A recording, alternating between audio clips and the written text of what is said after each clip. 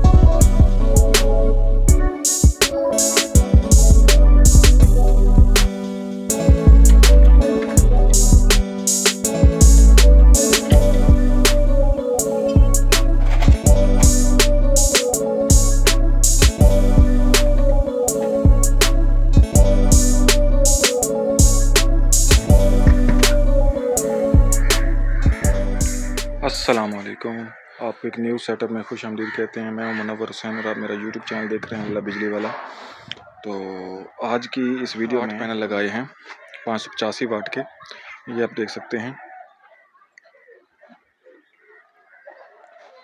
ये आठ panel third floor पे लगे हुए हैं।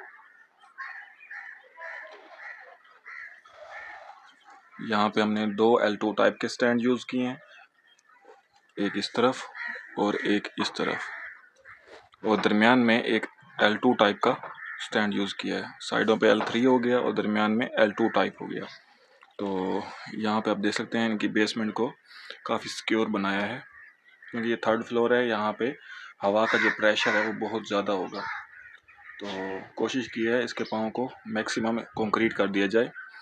और यहाँ पे हमने सिर्फ़ एक स्ट्रिंग यूज़ की है। एक स्ट्रिंग यूज़ करके वहाँ से हमने इसका मेन कनेक्शन नीचे उतारा है।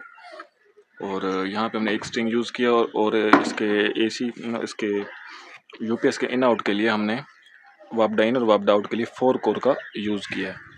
और इसे एक्स्ट्रा प्रोटेक्शन देने के लिए हमने यहाँ पे एलटी का ये जो वायर होती है एलटी की उसका यूज़ किया है एक्स्ट्रा प्रोटेक्शन के लिए। क्योंकि यहाँ पे हवा का प्रेशर बहुत ज़्यादा होगा इस वजह से यहाँ पे हमने अपनी तरफ़ से हंड्रेड परसेंट सिक्योर इसे बनाया है ताकि आंधी वगैरह में ये प्लेटें अपनी जगह से हिले ना तो आप देख सकते हैं, ये हम प्लेटें फाइनली एक रोज़ की मेहनत के बाद फाइनली इंस्टॉल कर चुके हैं। अब चलते हैं अपने इन्वर्टर की तरफ़ और आपको इन्वर्टर दिखाते हैं कि हम वहाँ पे कौन सा इन्वर्टर लगा रहे हैं और हमने इस पर कितना लोड चलाना है। सो so गाइस आप देख सकते हैं, यहाँ पे हमने दो बैटरीज का यूज़ किया है। ये एक, ये फनेक्स एक सौ नब्बे एम्पेयर में है और यहाँ पे हमने, मैं आपको करीब करके दिखाऊँ यहाँ पे हमने एक डीसी ब्रेकर यूज़ किया बैटरीज के लिए, एक ब्रेकर डीसी सोलर इनपुट के लिए और दो ब्रेकर शॉर्ट ब्रेकर और एक पावर प्रोटेक्टर और एक चेंज ओवर ये हमने इस डीबी में लगाए हैं और बैटरी के वायर्स के लिए हमने 25 एम की वायर का यूज़ किया है। यहाँ पे जैसा कि आप देख सकते हैं, यहाँ पे हम होमिज बोर्ड लगा रहे हैं 3.2 पॉइंट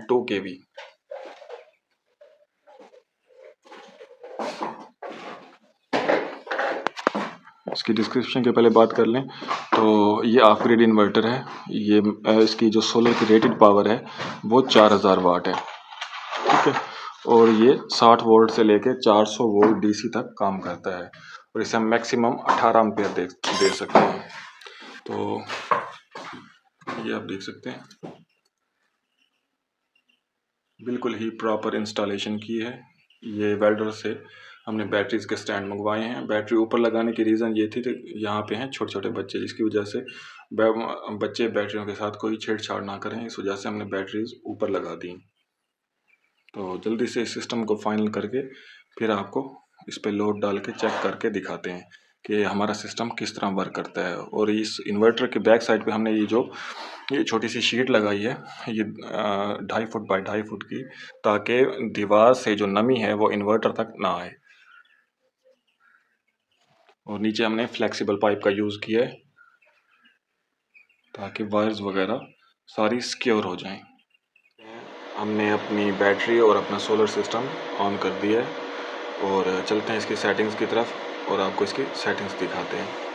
तो ये आप देख सकते हैं, मैं आपको दिखा पाऊँ कि ये हमारा इंटर का बटन है। इंटर का, हम इसे पुश करेंगे। ज़ीरो ज़ीरो आ गया।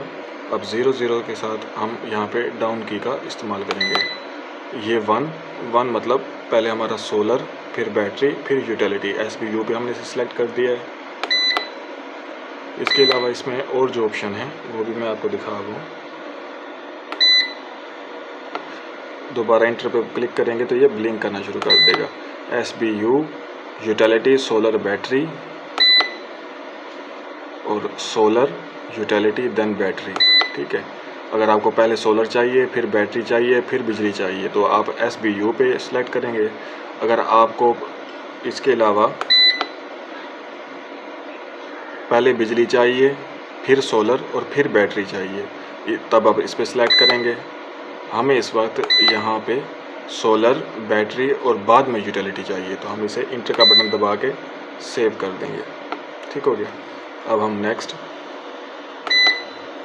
हमने बैटरी चार्जिंग के लिए 60 एम्पेयर रखे हैं। आप इसे कम कर सकते हैं, ज़्यादा कर सकते हैं। 80 परसेंट पर रखेंगे तो बैटरियाँ जल्दी ख़राब हो जाएँगी। और कोशिश करें 60 40 एम्पेयर नॉर्मल हैं। ठीक है? और ये अप्लाइंसेस मोड पे रखा है इसे। यू पी एस में नहीं रखा। ये एजियन ये हमारी जो बैटरीज़ हैं, वो फ्लोटिड हैं। कौन सी हैं? तो हम इसे सेलेक्ट कर देते हैं। और हम इसे एफ़ एल डी पर सिलेक्ट कर देते हैं, क्योंकि हमारी जो बैटरीज़ हैं, वो फ्लोटेड हैं। तो इसे हम सेव कर देंगे। उसके बाद नेक्स्ट चलते हैं।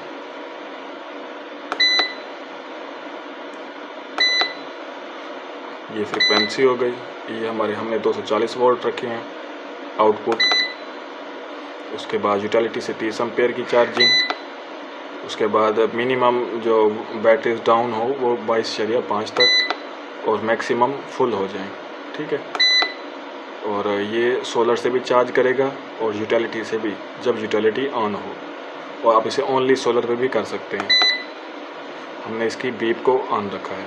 तो ये कुछ सेटिंग्स हैं, जिन्हें आप सेट करके अपने सोलर से मैक्सिमम आउटपुट ले सकते हैं।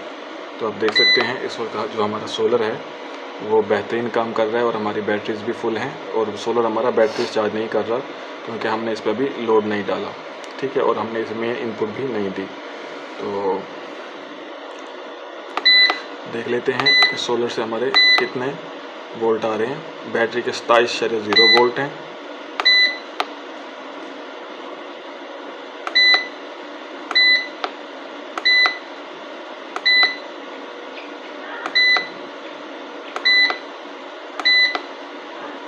तीन सौ तिरानवे वोल्ट, चौरानवे वोल्ट इस वक्त हमारे सोलर से आ रहे हैं, क्योंकि हमने आठ पैनल्स की एक स्ट्रिंग यूज़ की है और एक पैनल अड़तालीस वोल्ट का होता है। और 1.06 एम्पेयर हमारे जो पैनल से आ रहे हैं। यहाँ पे साइड पर देखें, पीवी लिखा हुआ है। ये दो सौ सतावन दो सौ इकसठ छः सौ वाट जनरेट हो रहे हैं इस वक्त। ठीक हो गया। और ये बैटरी ज़ीरो, दो ज़ीरो, दो एम्पेयर से चार्ज हो रही है, क्योंकि बैटरी को अभी चार्जिंग की ज़रूरत नहीं है, बैटरी फुल है। ठीक हो गया। इस वक्त चौवन वाट का लोड है, क्योंकि इस वक्त कुछ नहीं चल रहा। तो जल्दी से हम अपने सेटअप को फाइनल करके फिर आपको दिखाते हैं। ये हमारा शनाइडर का बैटरी का ब्रेकर है। ये हमने दूसरा ब्रेकर सोलर इनपुट के लिए रखा हुआ है। और बैटरी के लिए जो हमने वायर यूज़ की है, वो 25 एम की डीसी वायर यूज़ की है। और शनाइडर के इनपुट और आउटपुट के ब्रेकर्स और पावर प्रोटेक्टर और एक हमने शनाइडर का चेंज ओवर यूज़ किया है। ताकि ये चाहें तो सोलर पे सब कुछ चलाएँ अगर ये चाहें तो वावडा पे हर चीज़ चला सकें। अगर आपने इन्वर्टर्स के बारे में कुछ पूछना हो, कोई मशवरा लेना हो तो कमेंट सेक्शन में अपनी कीमती राय से हमें ज़रूर आगाह करें। हम कोशिश करेंगे आपको ज़रूर रिप्लाई करेंगे। और किसी भाई का कोई सवाल हो तो कमेंट सेक्शन में ज़रूर करें। और मिलते हैं एक नेक्स्ट प्रोजेक्ट में। तब तक के लिए अल्लाह हाफिज़।